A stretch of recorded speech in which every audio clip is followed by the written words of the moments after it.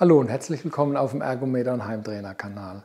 Mein Name ist Armin und heute möchte ich euch den neuen Pedaltrainer Tretmann vorstellen. Viel Spaß bei dem Video. 142er Trittfrequenz. Beginnen wir zuerst mit der Anlieferung. Der Tretmann kommt in einem Paket vom Paketdienst. Das hat äh, knapp 11 Kilo aufgebaut, so wie er hier steht. Äh, hat er dann 8,6 Kilo. Er ist schnell montiert, etwa eine Viertelstunde und äh, zwar müssen nur die vordere und hintere Standfuß montiert werden und die Pedale.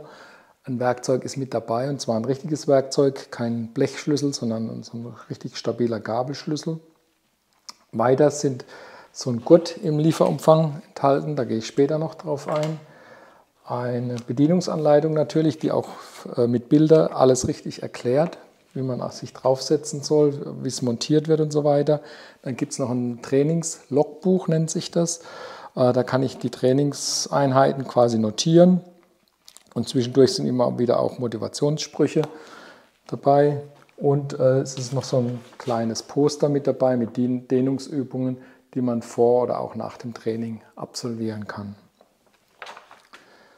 Die Besonderheit beim Tretmann ist, dass er einen hohen Widerstand bietet. Die meisten äh, Mini-Heimtrainer oder Pedaltrainer haben einen Trainingswiderstand von so 80 bis 100 Watt maximal. Der Tretmann hat acht Stufen und ich habe das mit meinen Wattmesspedalen gemessen. Auf der höchsten Stufe kam ich so auf 180 Watt sogar bei einer Trittfrequenz von 80 Umdrehungen. Allerdings äh, ist es nicht exakt genau, weil wir hier einfach so kurze Kurbeln haben und die äh, bei diesen äh, äh Wattmesspedalen ein bisschen Probleme bereiten. Aber ich denke mal 150, 160 Watt sind da locker drin und das ist deutlich mehr, als eigentlich die Mitbewerber da anbieten. Der Trainingscomputer ist mit einem einfachen Knopf zu bedienen, schaltet sich von alleine ein, wenn ich pedaliere oder ich drücke einmal drauf. Er wird mit einer AAA-Batterie betrieben. Zwei waren bereits im Lieferumfang enthalten und er hat sechs Anzeigen. Oben die Geschwindigkeit und unten habe ich dann die Zeit, die Gesamtkilometer, Trittfrequenz, Kalorien und zurückgelegte Strecke. Das kann ich einfach mit diesem Knopf durchschalten oder äh, ich stelle es auf Scan, dann wechselt die Anzeige alle vier Sekunden durch. Der Tretmann ist stabil gebaut, wiegt 8,6 Kilo, hat hier einen guten Tragegriff, 90er Kurbeln. Äh, hier habe ich das Einstellrad, 8 Stufen für den Widerstand. Und äh, die Verarbeitung, wie gesagt, ist sehr gut. Ich habe eine Magnetbremse, wird über zwei äh, Riemen wird eine Schwungmasse angetrieben. Dadurch kommt auch dieser hohe Widerstand zusammen, den man beim Tretmann einstellen kann. Dann zeige ich euch noch, wie man damit pedalieren kann, wie leise das Gerät ist und vor allem, wie er gesichert wird, damit er eben gerade bei diesem hohen Widerstand, den er erreicht, nicht verrutscht. Und äh, vor allem für was dieser Gurt, der da im Lieferumfang mit enthalten ist, gedacht ist.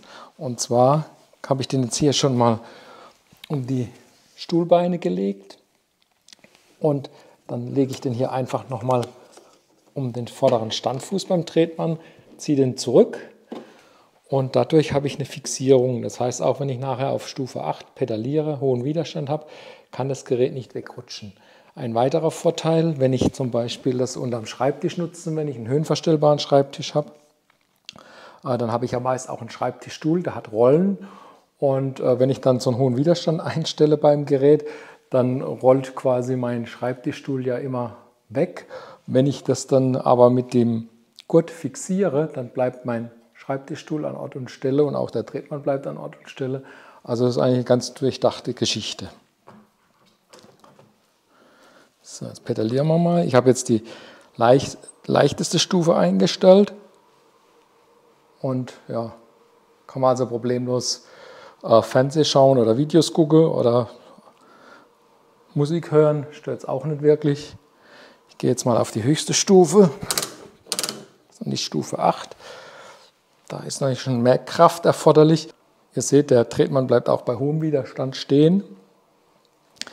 Wenn man jetzt einen glatten Boden hat, zum Beispiel Fliesenboden oder so einen Vinylboden, da könnte es natürlich sein, dass der sich etwas bewegt. Da würde ich trotzdem auf jeden Fall empfehlen, einen Läufer oder eine kleine Rutschmatte unterzulegen, einfach damit er eben sich nicht bewegt und der Boden nicht verkratzt wird. Boah, jetzt merke ich schon ganz schön, kommt gleich ins Schwitzen. Drehen wir den Widerstand wieder runter.